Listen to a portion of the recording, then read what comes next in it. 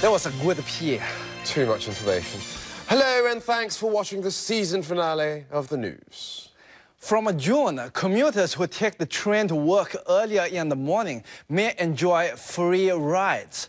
But will the new initiative have the desired effect of easing peak hour congestion? To tell us more about the story, we're delighted to present to you the finalists of our Are You Noose Enough competition. From June 24th this year, taking a train to work earlier in the morning could save you a few extra dollars, which you then can use to spend on a nice dish in nasi lemak. Under a new scheme introduced by the authorities to help spread out peak hour traffic, you can enjoy a free ride if you get off at one of 16 designated stations before 7:45 a.m. or a 50 cent discount if you reach your destination between 7:45 and 8 a.m.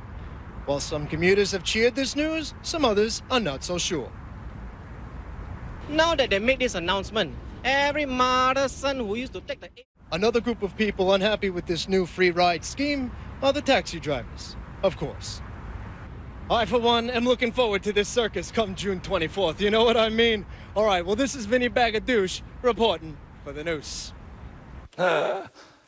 Well done, well done. but still got room for improvement. All right. Um